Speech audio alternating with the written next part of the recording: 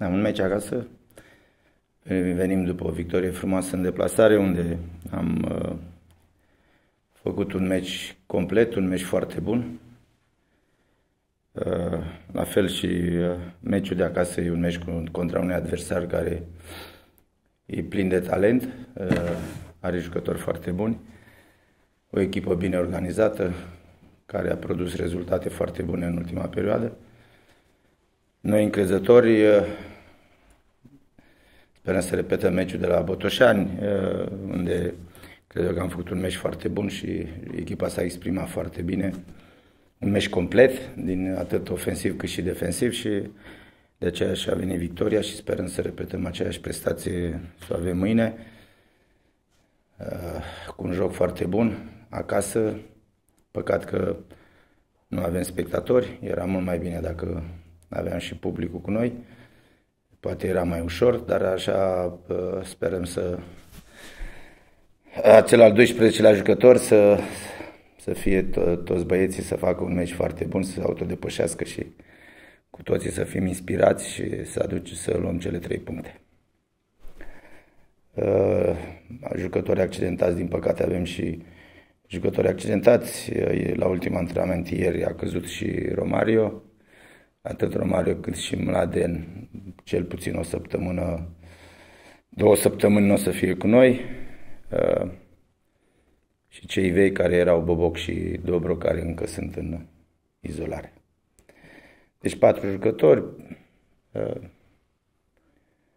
dar uh, trebuie să găsim soluții, trebuie să găsesc soluții pentru că acum sunt eu la care, care vorbesc de accidentări și din păcate da, am cer să găsesc soluții, să vedem și băieții care vin, a revenit Purece, așa că vedem, nu e încă 100%, dar a revenit cu noi.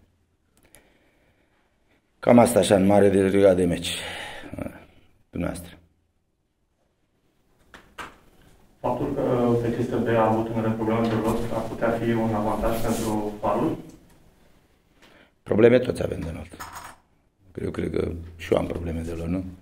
În momentul de față, dacă tot vorbim așa, așa că...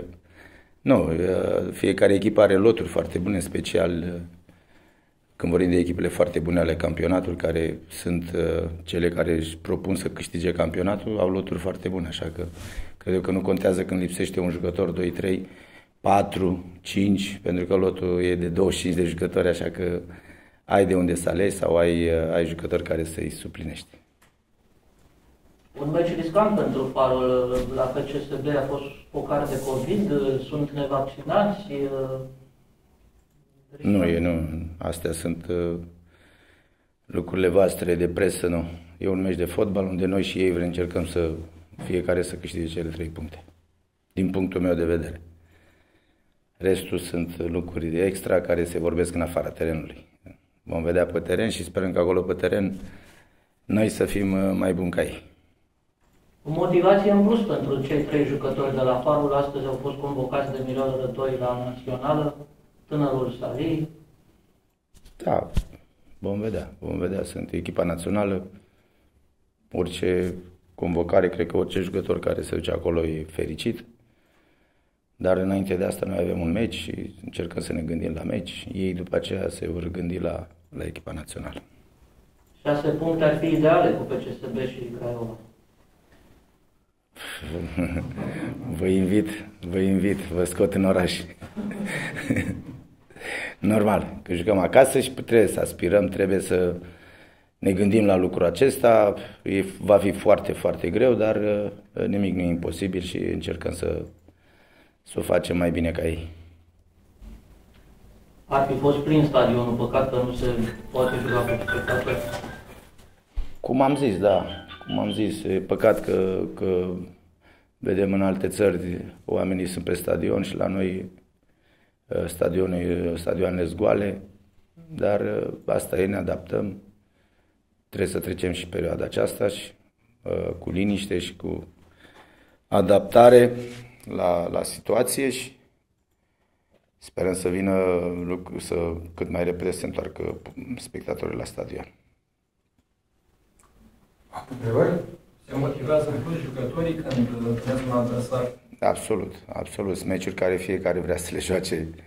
Fiecare cred că își dorește, chiar aia care rămân în afara lotului, probabil na, vor să fie pe teren și sunt meciuri frumoase și cred că fiecare jucător vrea să le joace.